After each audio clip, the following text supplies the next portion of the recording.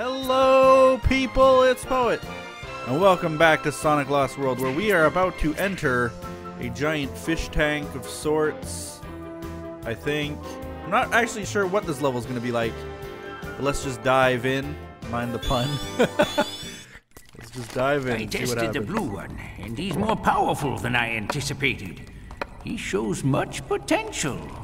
Who cares about him? Now that I'm free, I want to squeeze Eggman till he pops! Yeah, spit all over him. Eat him, I suppose.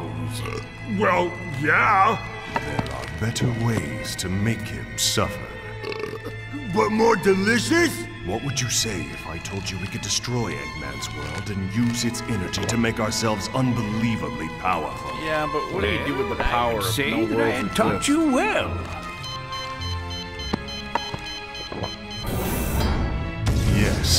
Yes. All right. And it will be Eggman's own creation that causes his destruction. I've never understood that though. The need for power when if you destroy everybody, who are you powerful to? You can't be powerful unless there's someone to like oppress. As bad as that sounds. Oh man, I'm missing all the okay. This is kind of interesting. Haven't had any of these. Oh, what? How come I can't move? I have to like. I'm so used to other Sonic. Uh oh. So so used to other Sonic games where I have to like. Um, just move the controls to get to the other. What? What was I supposed to hit that little yellow light thing? Yeah, okay. But I'm used to the other levels where, or the other games I should say, where you can like just use your thumbstick to switch between tracks. And that was just definitely not a thing. What? what? It was a big cart full of rings and I hit it thinking I'd collect it. and it actually took all my rings away. I guess I was supposed to like break it. I am definitely. I almost want to play this again already. Because I think I can do better.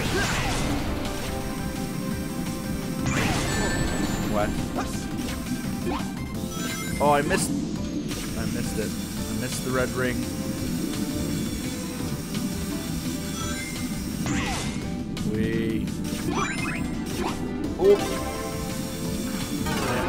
I'm like, I'm failing at it because I want to use thumbsticks to get across.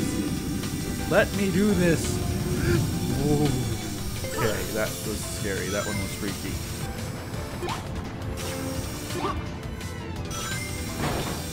We.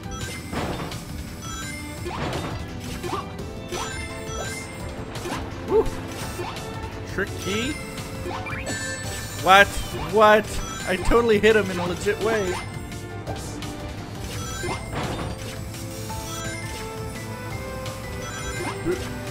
Uh-oh. Oh, I I had it. I had it. I just missed it barely.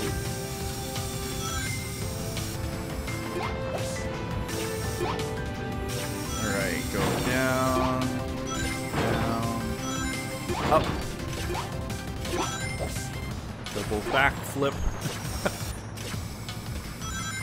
okay, so I have to lock onto this guy and then hit him.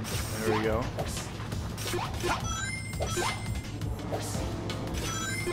Got it. Okay, this is where I screwed up before. Oh, I messed up again. It it like takes you. Okay, this is why I'm messing up. It's because it goes really, really slow all of a sudden. And then when you jump up to the next level, you're supposed to like immediately jump. It's tough. That one.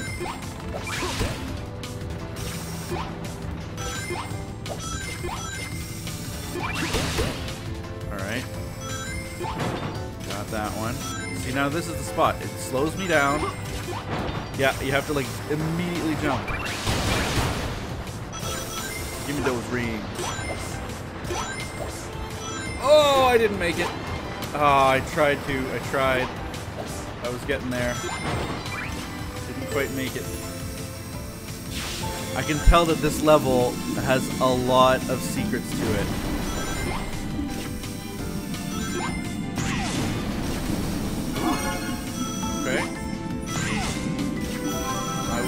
I will gladly take this level.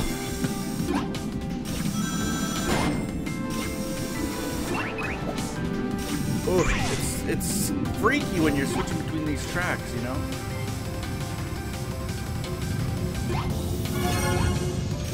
Woo! This is so freaky, this level. Oh, and that was the end. That was so fun! That I think that was my favorite one so far, just because I love that rail grinding stuff from the other games. It was tough though, because you couldn't switch between the tracks. Or maybe, like I tried hitting a few of my buttons, but Sonic, something bad's happening. Whoa! What's going on? I don't know. It's like something in the sky is draining the life out of the world. Plants, animals, even the air feels cold and dead. even me, I feel cold and dead. Uh. Okay, you guys stay safe down there. I'll try to figure out what's going on and stop it. Alright. Wait. Is that turning to ice, or is it like just turning into like stone? I'm not sure. Either way, Sonic says he'll help. Where does he go? An oasis in the tropics. That's what Sonic does when the life is literally being drained from his world. I'm just saying. Uh, okay, next one is to collect 10 rings with the cyan laser. Okay. That's not hard. Um, I gotta find the one that has that. It's like way at the beginning. Run all the way to the. I don't get what the thing is with these little uh, hexagons on the ground. Like, I don't quite understand what the point of these little spots are. Why they make us run around these little hexagons. I don't get it. Why are you here? So that's a cyan laser, I think. If I had to guess, that little guy there you see at zone one looks like a lightning bolt. He's cyan colored. And when you fire his power, it's kind of laser-like. So that's what I could do off camera. Anyway, with that, we'll be seeing you guys. Thanks for watching. Like this video, comment below, and do all those other awesome things people do. And we'll see you next time on Sonic Lost World, where we will beat potentially the last level of this zone. Bye-bye.